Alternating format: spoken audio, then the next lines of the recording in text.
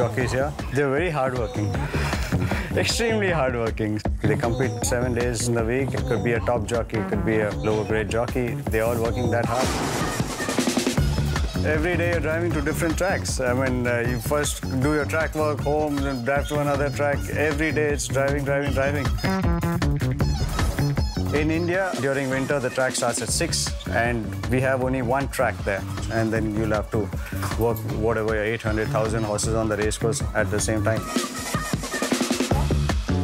Half of your prize money in Australia would be the average prize money on handicap races in India.